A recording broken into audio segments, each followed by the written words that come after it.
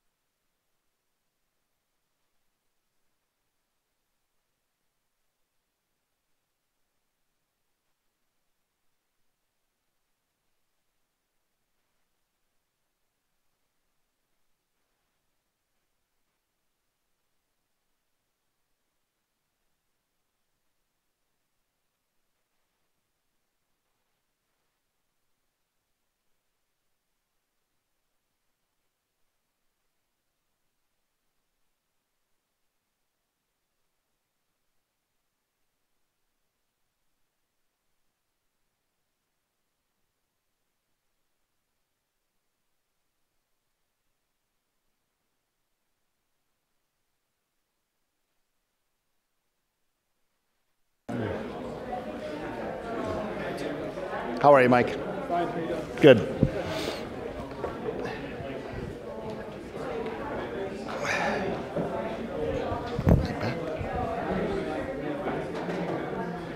Ready? Good afternoon, everyone. It's um, my pleasure to welcome all of you to the, the open forum for faculty. This is this is odd. A lot of things are different this year. Um, usually, the student open forum is the least well attended, um, and this year it was very, very well attended. Obviously, issues around uh, the travel restrictions and those sorts of things. Um, not a lot of state classified personnel. I think you all are vying with the state classified folks for the lowest attended forum, which is not, not typical. And I know you have fewer people in the front rows than any group has, which we'll, we'll see how the see how the questions go to see if that foreshadows anything. We'll but you all know how this works and why we do it. We've done it every year since I've been president. It's just a chance to get together and and hear what's on your minds, see what questions you have, um, concerns, criticisms.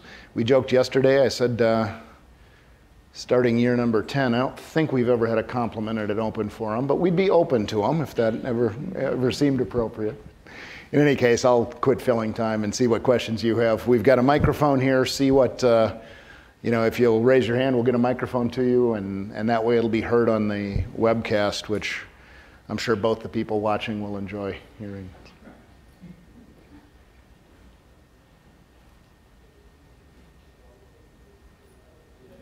Bob. Well, I don't want to be out of character on this, Tony, and shock you, but um, one thing I do appreciate is kind of the work of a lot of people on campus on behalf of non-tenured faculty. Yeah. And I see that progressing kind of by semester by semester. I think it's a hugely important thing to do. So I appreciate your help on it as well. Thanks. And I think think- that's a topic where you're right. We, for years, we kind of we kind of ground away on this part of the curve, made some, made a little progress, but not what we should have. And now it seems like we've maybe turned a corner a bit and are making progress a lot faster. And you're right, that's a ton of people doing that work. So, thanks. Was there a second half to that question? But, but okay. I said I was out of character. Kind of get grounded again. There you go. All right, I'll give you a chance. How are you? I'm good. Hi. Uh, my name is Moti Gorin, and I'm an assistant professor in philosophy. Um, so I've asked around a little bit on this question. I've gotten some answers. Haven't dug into it anymore, so I thought I'd ask you. Uh, we, as you know, and this seems like a better place to get an answer. I'm honored, but we'll, we'll see. Uh, I thought it couldn't hurt to stop by. Um, we don't participate in Social Security. correct.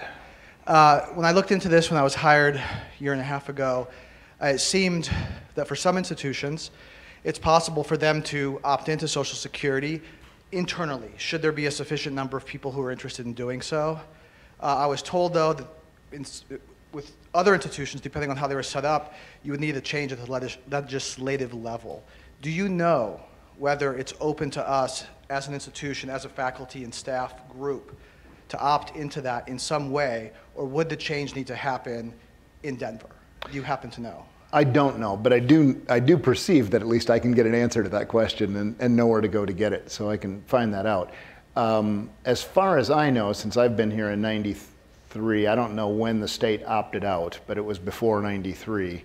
Um, and I, don't know that that since 2000, in the last so 17 years that I've been on the cabinet, I don't think this topic's ever come up, but I can find that out for you easily. I've enough. just talked to people here and there, and I'm not the only one who. So, the states were allowed to opt out so long as they could show the federal government that they are providing something Right. that's similar. Right. And for a long time, that was para. And for whatever reason, I wasn't here. I don't know the history. We're now in a defined contribution plan, which, in certain respects, in my view, is inferior to a defined benefit plan like Social Sure. Security. So, I know that a defined contribution plan does qualify for, you know, states are allowed to leave, but there's still a little bit, it's, it's debatable Yeah. whether a defined contribution plan should qualify as being equivalent to a defined benefit plan. Yeah. So it's just, you know, it's something that I find to be a bit disconcerting, given that everything is, ends up in stocks or bonds, and we know what happened in 2008, and Yeah. some people didn't retire, and there's a lot of problems. Agreed. So, You know, it's interesting. I don't want to take us too far down the, the, the path on this question, but you know, if you went back I guess, uh, kind of early and mid 80s, um, defined contribution plans started to become the rage because with the interest rates that were out there, the prevailing thinking at the time for those of us who were junior faculty members was, wow, you know, all these great 15, 17% returns, and I'm only, I'm only guaranteed 8% return through my defined benefit plan. Um, that just seems like such a long time ago to talk about numbers like that. Yeah, we can find that out. Thank you.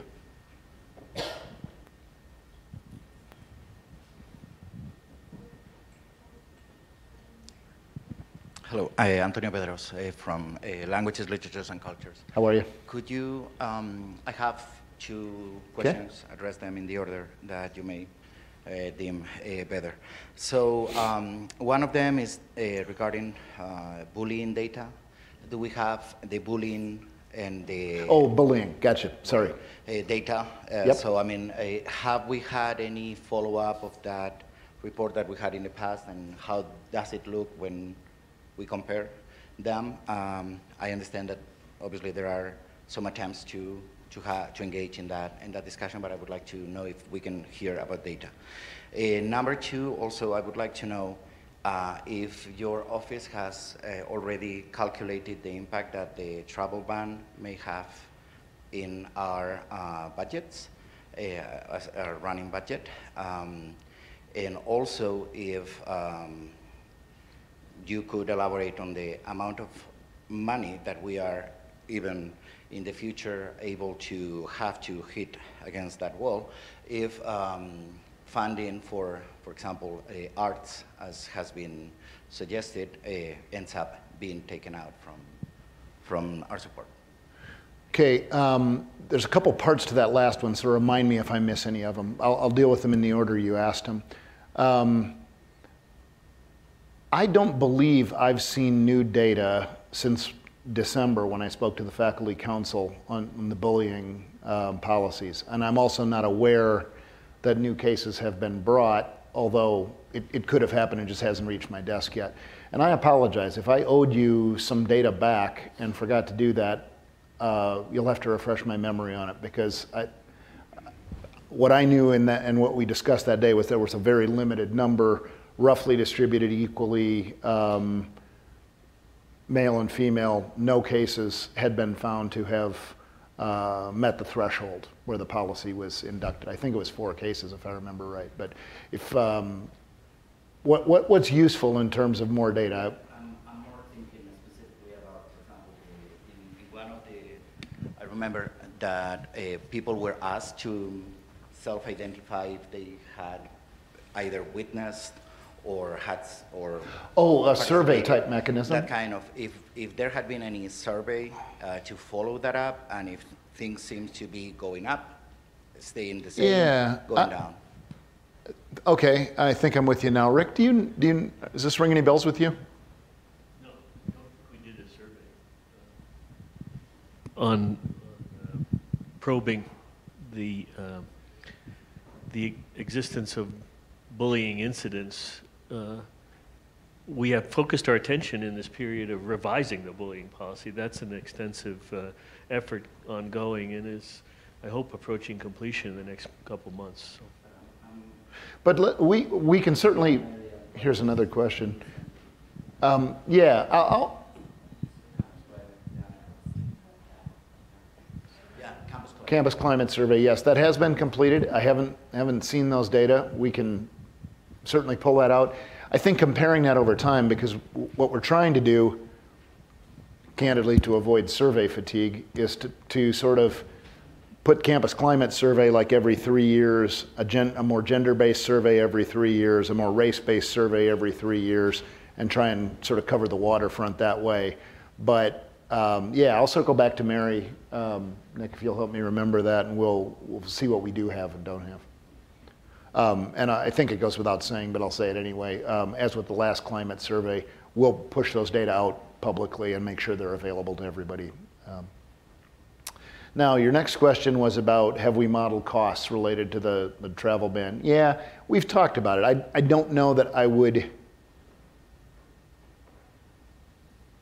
I don't know that I would say it rises to the level of what I would consider modeling because th- the assumptions are so, you know, we have to guess at it, right? Nobody knows um, what the specific, what will happen with the travel restrictions, what will stay and what won't stay. But probably the bigger impact on enrollment um, is going to be around attitudes, right? And, and fear of traveling to the United States and studying here. Um, European and Canadian universities have, have already um, taken very active efforts to, to step into that international student market. Um, so we've got a few things that can guide us, right? We, we can look at what happened to the melt rate or the return rate from fall semester to spring semester this year and compare what happened in previous years. It's an inexact comparison because the travel restrictions um, came pretty late in that process, but it should give us some reflection of what general attitudes toward our November election we're doing. Um, I was at a higher ed uh, event last night in Denver, and uh, one of my colleagues here in state was saying that their return rate um, dropped by, it's a fairly small institution, but their return rate of international students dropped by 40%. It was a 40% greater uh, drop in return rate than the previous year. Uh, they're pretty heavily STEM oriented, and, and so they had a, it was a big impact on them. I don't think we've, we haven't seen that rate of drop. Our, our rate of drop is not, you know, it's different, but in the same order of magnitude as what we typically see. Um, there are projections, you know, the international uh, student groups across the country are sort of trying to make projections about what they think will happen uh, next fall versus this fall. We can look at apps, but uh, the yield rate on apps for international students is, is a tricky predictor. We could go back and factor in what happened after September 11th, 2001, but that's an inexact correlation as well, right? I mean, we, it was a very different situation, and um, we saw dips, substantial dips, but they bounced back in about three years, and a lot of that were related um, to uh, student visas and AAAS and, and, APLU and AAU and all those groups. ASCU got involved and lobbied pretty hard, and uh, I, that was a part of, of the lifting there. Um, so, what can we say about it? I think at this point we would say our best guess is that maybe revenue from international students might be down somewhere in the one and a half million dollar range for next year. But at this point in time, um, our domestic non-resident applications and deposits are high enough that we think we would see a substantial overall revenue increase still if those numbers hold the way we think they will, so that we actually would see, um, again, enrollment-related revenue increases next year, even though we'd see a decrease within the international students.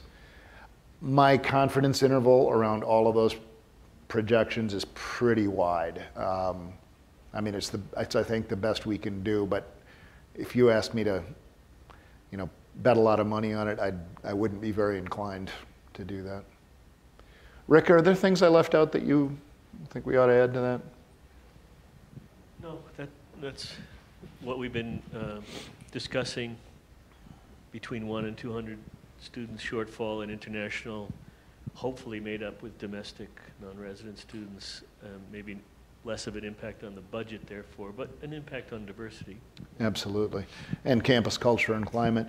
Uh, you had another end to that question, at least one more that I'm. Funding for the arts.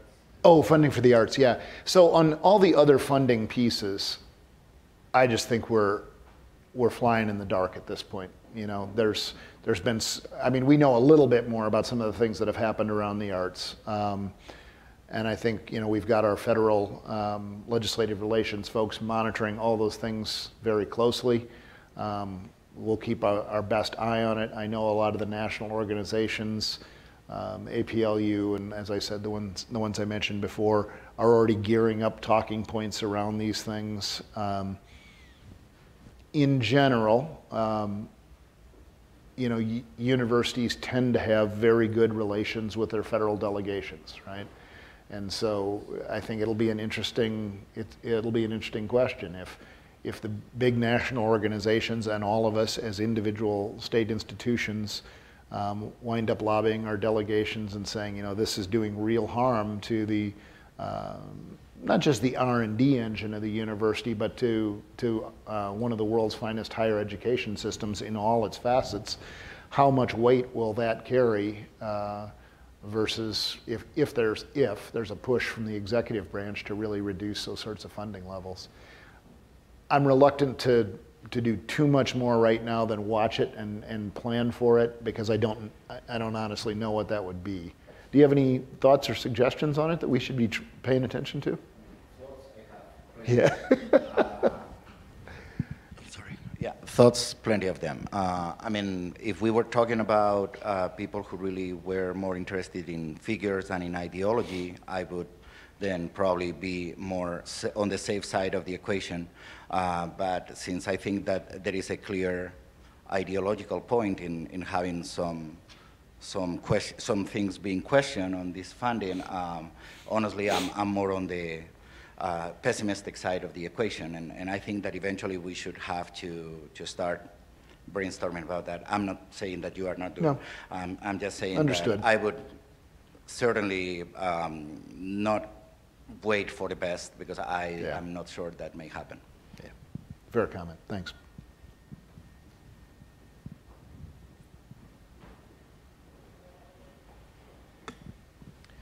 Paul Doherty Fish Wildlife Conservation Biology.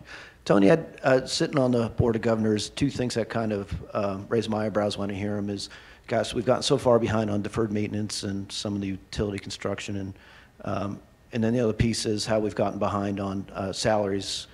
I guess the most recent one, for full faculty anyhow, it's maybe 89% of our peers.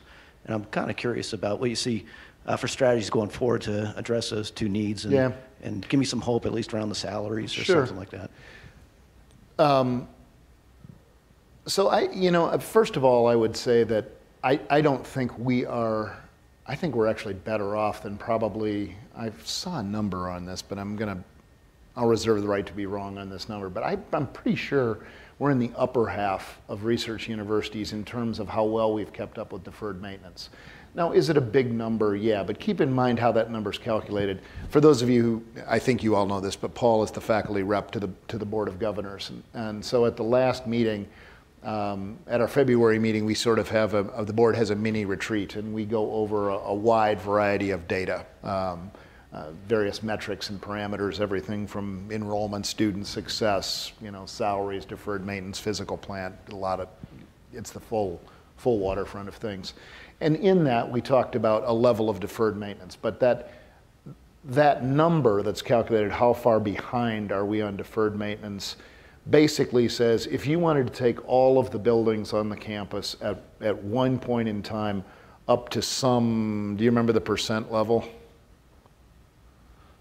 There's a percent calculation that facilities use that say it's like 95% of, of brand new.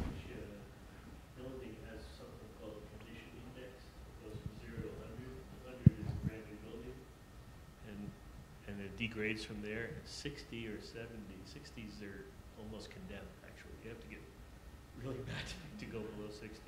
Many of our buildings are um, perfectly functional in the eighties, but it's starting to show a little wear and tear. So, I mean, when we look at those numbers, uh, for one thing, virtually every university in the country has these huge hundreds of millions of dollars deferred maintenance lists, which essentially says if you, but by the way that's calculated, if you wanted all of the university campuses across the country to be 95% of new, this is how much it would cost you. Is that a useful stat? I don't, it, it doesn't do a whole lot for me, but it's an apples to apples comparison at least across places. And in, and in that respect, we've done better. Now, I do worry, and you've heard me worry in front of the board. Um, I don't see that the state's going to be in a position um, to step back into the deferred maintenance game. And if you looked at our percent, um, our condition index as a percent of new now versus 20 years ago, we've probably lost some ground because the state used to fund a lot of deferred maintenance issues.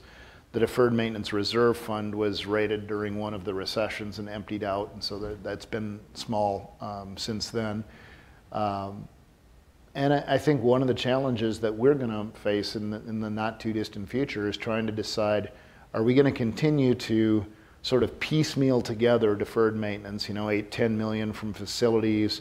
We've got these $2 million enrollment reserves that if we meet our enrollment goals and don't need the reserves, um, then we chip those over into deferred maintenance. We set those up my first year as president. Are we going to kind of continue to so- sort of piecemeal our way through that?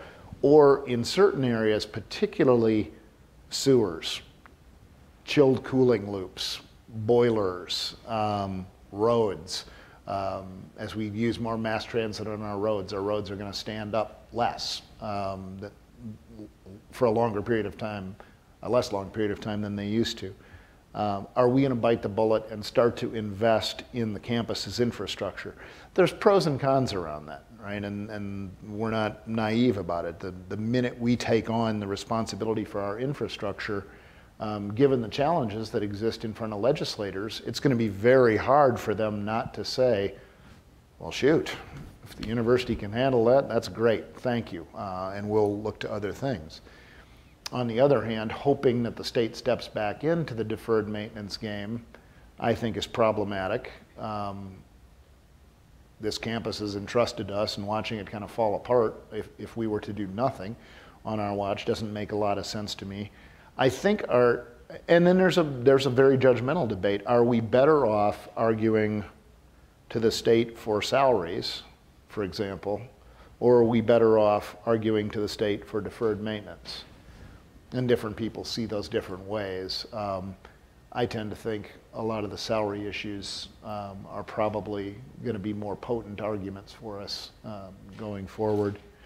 So uh, that's what I would say around the around the deferred maintenance side. On the salary side, and we also discussed salaries as a percent of peers. On a pure salary basis, and Rick was right to point this out at the last board meeting, I don't know that we've lost a lot of ground, right? We're kind of where we always were, which is assistant professors are pretty much at the market level. We compare to percent of peer institutions.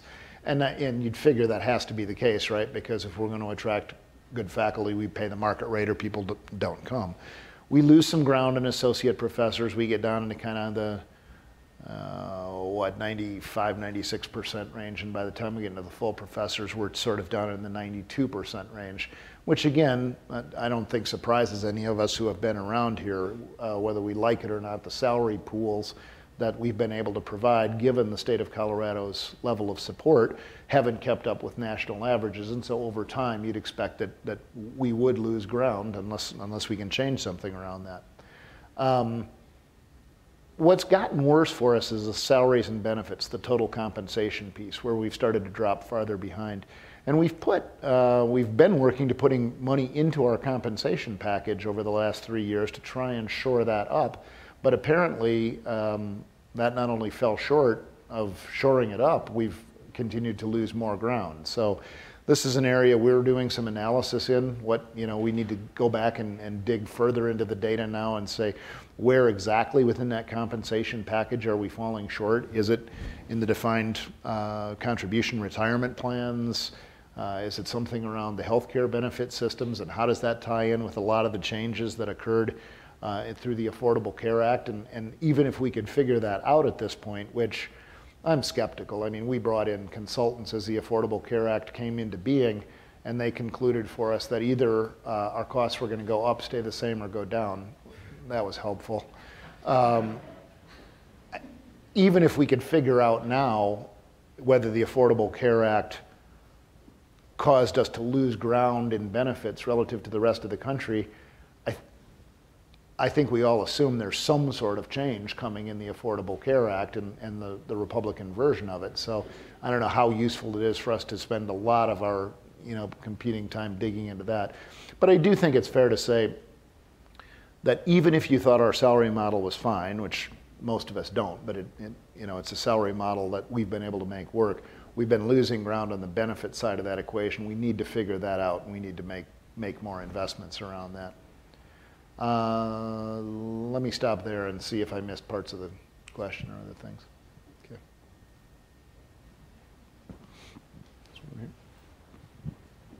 Hi, I can Hi. kind of jump to another area of salary, I guess. Um, so I'm Hannah Caballero. I teach in the English department, um, and I'll open with a a piece of appreciation as well. Um, I mostly teach the ESL students here for composition. I've worked it into. I teach the bridge students. Um, so I will say I appreciate the very quick response the university had to show that their support at the administrative level all the way down to the teachers who are seeing these students every day. So I'll say thank you for that. Thank you. Um, so mine, my concern also has to do with salary compression. Um, I just filled out the survey that Faculty Council sent out, so this is obviously a very um, exigent issue for all of us. Um, and so I'd kind of like to share some experience and concern and lead to a question with that, I guess. Um, so I know that for NTTF, the issue of compression has been has affected the workplace environment and then as you know as well as our professionalization. Um, so I know that you know when we come in and are have been here for years and have done research and have experience, um, if we now make the same as our new peers who are just being hired on, um, it affects morale Right. pretty obviously. Um, so I personally have trained our GTAs for four years, um, have done a lot of classroom-based research, done all this, um, have presented at conferences, and the people that I trained came in this year making the same as I did. Um, so there's that kind of morale piece where when we talk about it, you know, we're, we're start to question why we are killing ourselves at our jobs, um, and we kind of come to well pride and psychic income essentially Yeah. um, and then i think that affects And then you, um, then you lay down in bed at night and go, run that by me again. Why am I doing this? yeah. So, I- so there's that piece of it, and then I think that to a more measurable area, um, our professionalization is affected um, to where a lot of us start to question: Do I spend my quote unquote free time doing research and doing professional development, or do I start doing freelance work to have a livable wage? Um, and a lot of us have come to, well, we teach full time and then we have freelance jobs on top of that. Um, so for me, professional development is personally and professionally gratifying. Um, but when it comes to paying a mortgage and student loans and car payment, like a lot of us do, um, we have to start balancing our time. And I would love to just teach, um, as a lot of my peers would. And you know, we, we want our students to ha- um, have teachers who are up to date on our research and our knowledge of subject matter. Sure. So um, I guess my, my question is, is you know, what's being talked about for the NTTF level? I was at the reception for NTTF, and I know you talked about the content proposal being a step in the right direction. Um, they're still working on it. Um, but I guess I'm curious because a lot of what I hear is that the, the way that we're compensated for salary is very hard to even trace. So it's hard to know, you know, where do we need to be finding the money, um, and and what kinds of things are being talked about, Yeah. um, so that you know rank and promotion can start coming into play to to salary. Right. So, first off, for anybody who's missing the acronym, NTTF is non-tenure track faculty. Um, secondly, if there's something in there that you said that I disagree with, it's not coming to me right off the bat. So I, you know, I, I, I hear you loudly and clearly. Um, and I think our goal around non-tenure track faculty, going back to when I was in the provost's office and, and to Bob's original question, when our progress was on a geological timescale and we weren't, we weren't making much, um, our goal was to address exactly these issues, right? It was um, that faculty, particularly faculty teaching in the 100 and 200 level courses, uh, we had a lot of non-tenure track faculty in those courses. We spend so much money attracting students and wooing them here, and as an enrollment-dependent institution, you know, one of the most cost-effective things we can do are keep those students here.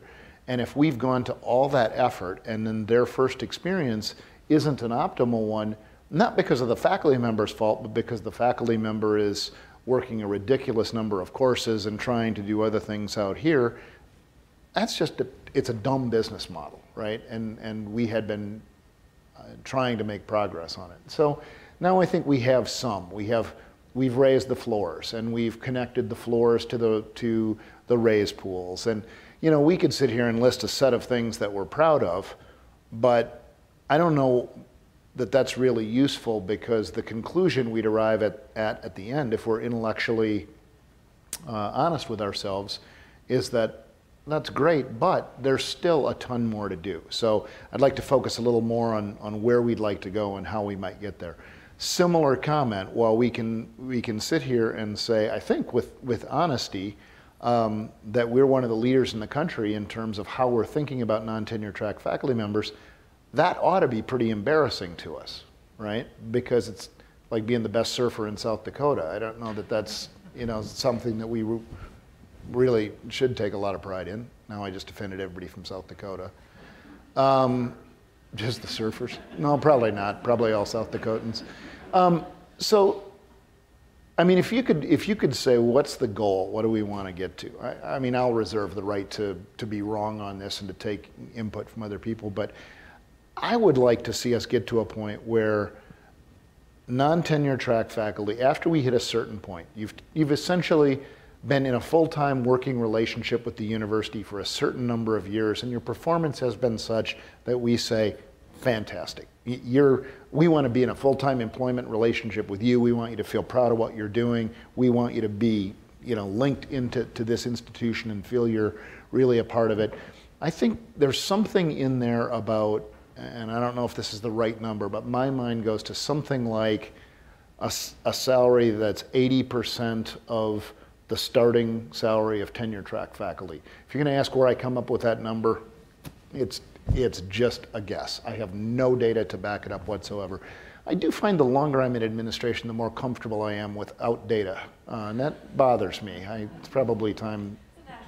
I, oh, oh, oh. I teach rhetoric. Ouch. That's really nice, and I should have seen that coming. Yeah it wouldn't have stung less, but I could have been prepared for it at least. Um, now this is going to take us down a rabbit hole of alternate facts, and uh, let's just, uh, yeah, okay. So trying to get back on track, some number that is formulaically related within the discipline to where we're starting tenure track faculty members, and then a ladder that moves people along and has some connection relative, and, and part of that I think we already have, relative to the raise pool that the other people are considered for. So how do we get the money to do that, right? Because right now, as we fix the entering people, we do exactly what you're talking about. We get compression and sometimes even inversions within our salary structure. And we see, you know, we see the same thing in the tenure track lines. There's no difference there really. Um, maybe we have a little more room before it becomes acute, but it's acute in a lot of places. So the way I would characterize the university budget overall is that keep in mind for context that we're in a state that has essentially the lowest state support per student of any state in the country. And we're a moderate tuition state. We're right about national averages. So if you look at this from the taxpayer or the legislator's perspective, you say, wow, you know, we've got these great universities that are turning out highly capable students and doing great research and scholarship at a fraction of the price that other states are paying, and we're still at the average of what our citizens have to pay. Well done. We'll see you next year, right? I mean, that's, and you can understand legislate, legislators' opinions around that. So, given that, okay, footnote, we continue to work to try and change that narrative and, and do a set of things around that. But let's set that aside. Let's say that that's where we're at.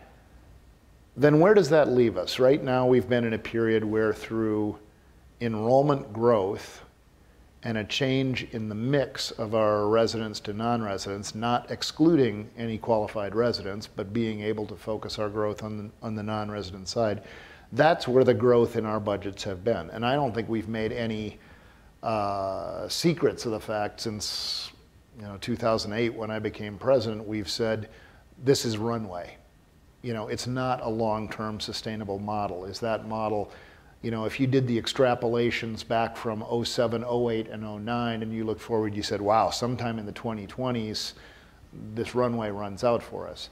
If you do the extrapolations now, given the Hickenlooper administration's reinvestments and the way the budgets have gone, I think it turns out in somewhere in the the late 2030s. Um, but still, at some point, the model is unsustainable. And, and you've seen the graphs across the whole country.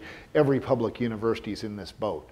Um, the longest ones get out into later in the century, but even those, you know, some of those are in states um, my home state of Illinois, where the state is essentially bankrupt but just hasn't been willing to use the word yet, um, at some point they're going to have huge problems in, in a really well funded higher education system.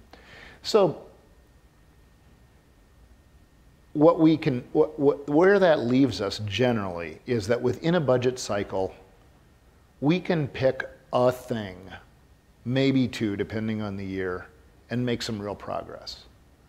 You know, a couple of years ago, we did some substantial faculty cluster hires. Um, Rick was able to put in the academic revenue sharing, which I, you know, I think has been a really positive thing. Um, but, you know, those come at the expense of making progress in other places, right? So, um, are we investing enough in the compliance side of our research operation? Well, inventing, investing in, in what's seen as administrative bureaucracy is always wickedly popular at a university. And yet, if all of a sudden we have a major audit and a compliance failure and it puts $350 million of research funding at risk that pays salaries and graduate students and all those sorts of things, then whoever replaces me will tell you why that was a really bad decision, you know, around what we did.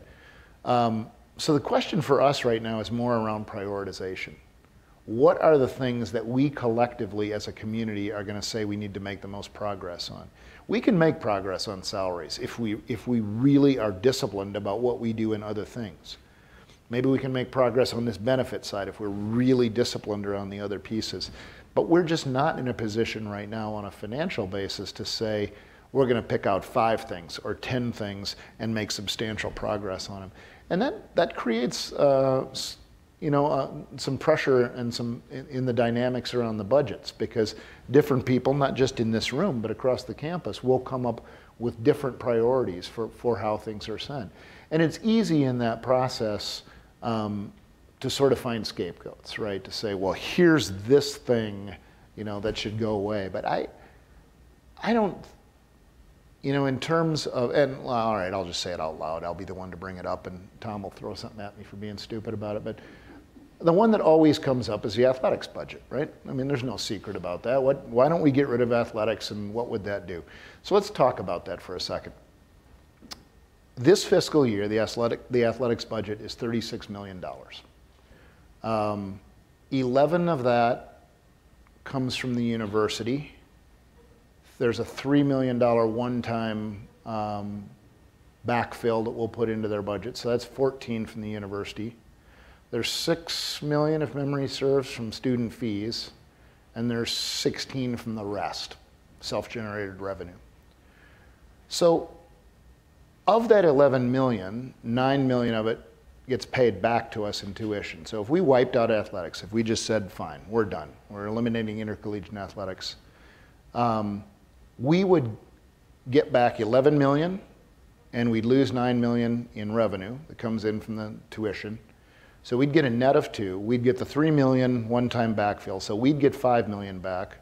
Our students would get six million back in their fees, but that's not available to us to reallocate. So we'd have about five million back of eliminating a $36 million enterprise.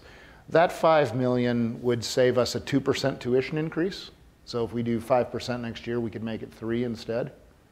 Or it would give us around 1% additional salary increase for everybody. So if we did that, if we eliminated those programs, we would lose everything that comes with it, including what's the third largest, other than the GI Bill and the Pell Grant, the third largest producer of diverse college degrees in the history of the American higher education system, and we would get a one-year, 1% salary increase. So for those reasons, I, you know, that's, I use it as an example, right? I don't think we have really obvious places to take a vertical cut that benefits the whole institution for a long period. And when we have discussions about this, like in cabinet or council of deans, and we say, all right, come up with vertical cuts to the university. What are we going to stop doing? The answer is always uh, your program is the, is the one that ought to get the vertical cut. Mine is pretty much mission critical to what we do. Um, so uh, all of that is a, is a very long-winded way of saying we should be open to everybody taking a look, and I hope our budget process is open like that. We put out the budget balancer where you can play with the same dials that we can. If somebody comes up with a breakthrough or an epiphany, I, I want, I want to know about it because we're all striving for the same goals. Short of that, and short of a major change in the funding model, what we're left with are difficult decisions about what are the highest priorities, how much progress can we afford to make on one or two things before we start to cut into others. I know that's not a very satisfactory answer, but. Is salary moving into one of those top two? Oh, yeah, absolutely. In I fact, I, I'm last, sorry. like- I would have said that what we heard last year as we went around, um, the chair of the faculty council, Mary, and, and Rick and I um, go around and meet with usually faculty council reps by department every year. And that- that seemed to be, we tried different things, but that has seemed to be pretty effective. So, and this is reminding me, we haven't scheduled that yet, have we? Nick? Um, The thing we heard loudly and clearly was salaries, salaries, salaries. Thank you. Let's do, there's someone over here and then Bob too. Um, Oliver Pearson from biochemistry. Um, kind of touching on the same thing on the Yeah. tenure track side. So the university made a decision to do 10% raises on promotion and tenure across the board, which to me is a recipe for inversions in equity exercise. It just furthers the compression because there's no compensation for that on the upper end. You know, I'm, we're in the middle of one of those down in, in my department. And Okay. I'm wondering what the logic was. You're thinking about bad business plans. What's the logic of extending what's already compression at the young end up? Give that Rick? man, give that man a microphone back. System for, to associate. Yeah. Well, we, we, we expect to work with every department who only has, each department only has a few associate professors who were promoted recently to look at those inversions, right? But a two percent raise a year, a ten percent hike is five years. No, we'll have, we'll have to uh, inject some more resources, of course. But we didn't have the resources to fix all- everybody all at once last year. So we're, we're reviewing those inversions now, department by department, looking for, looking at proposals. Not every department was affected. Not every department had a recent uh, promotion, for example. And uh, looking at it more on a case-by-case basis. But part of the reason, if I'm, if I'm following your question right, part of the reason, going back to the earlier question of losing ground as we went into the associate and the full professors, part of the reasons to make these promotional increases greater was to uh, not have us drop as far behind as people went on through. But it creates inversions. And we're back to the prioritization. Yeah, I hear you. I do. So I, th- you know, we're, we're going to be working to correct those inversions over the next couple of years, but I was very determined to fix this once and for all and get that done once, get that, get that uh, initiative behind us, and then we, and go, and I, I felt that was more important than doing something lower and, uh, uh, for that promotion and, and fixing constantly everybody, yeah, so, Yep. Yeah, I agree that it created some inversions and we'll have to deal with them, yeah. Bob had one over here. Tony, did you say athletics? I did. And, and let the record show I'm the first Well, one to I'm- bring I'm it not- up. I'm not so- going to take the bait on that one directly. And I disagree with, with the numbers, but I don't want to, you know, go- go and retread that argument again. But I do have an athletics issue that I think Okay. is vital. Uh, And it's this, we've, this whole discussion has been about basically a lack of resources. Low salary increases, uh, low salaries for contingent faculty and so forth. um, Deferred maintenance. They're all money issues. And the issue I want to raise is this one. There's been on and off talk about uh, CSU joining, if someone opens the door, a Power Five conference. And my comment on that is that the case is a one, the case that's made is a one-sided case. And that is everyone's eyes get real large when they see $30 million per year in TV contracts to, let's say, the Big Ten and whatever. The problem is there are associated expenses that are much higher than that. And so as we plan for the future, I'm not talking about current athletics, I would say forget about that totally. And the reason is, let's say the Big 12, I'll make it very quick here with some, some numbers. I think the uh, smallest budget is Iowa State, around 70 million. Ours is around 38 million. Uh, Texas is a little higher than that, 150 million. And then you look at athletic facilities, and you look at number of teams, you know, and, and you know, there's all kinds of research on it. You get into a competitive arms race. So right off the bat, if we got in it and we're gloating over the $30 million, whoops, athletics should be arguing for an increase in their budget of 40 million to keep up with the bottom member in the Big 12. I think it's a money-losing proposition. I think academics are the main priority. This is the future, and I would say forget about that uh, right now. Don't even think about uh, joining a Power Five conference. That's my comment. I, I think I've heard that from you before, right? So my response to that would be, and, and Bob knows my response because he and I have had this conversation before, so I'll, I'll direct the, the response to the rest of you. Um, and it- it's difficult because we don't agree on the basic numbers to begin with. So it, it, it's a it's a challenge um, for us to go from there. But what I would say is that I'm I'm very comfortable with a model that says if you take, for example, the Iowa State budget at 70 some million, a lot of those expenditures um, built up in a lot of those big athletic department budgets are on new facilities. Our facilities are covered through a different model, so we don't, the, the self-supporting model around the stadium, which you can say, it's not gonna work, that's a screwed up model, fine, but at least the model on paper, you'd have to pull out of those budgets the, the facility pieces out of the other budgets.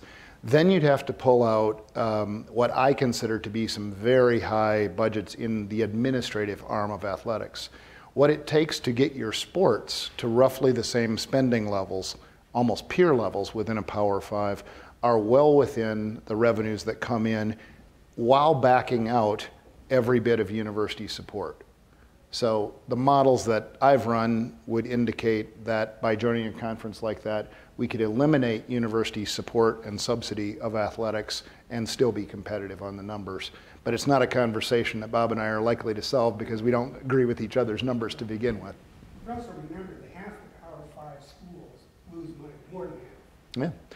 I, I have never made the argument that we were going to make money off athletics. What I have made the argument on is I think there is an argument to be made on return on that investment, a complicated argument.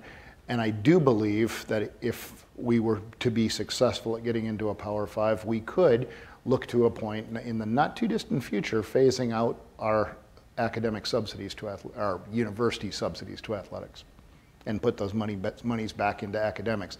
I suspect that's, were that to happen, I suspect that's something you and I would agree on as being a good thing. If it were to happen. If it were to happen. Uh, You don't have to grant the premise.